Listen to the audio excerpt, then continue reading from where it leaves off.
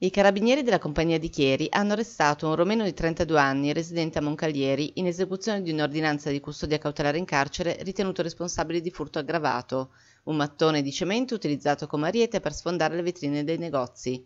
È il modus operandi adottato da questo ladro seriale per saccheggiare 12 negozi in provincia di Torino e Cuneo.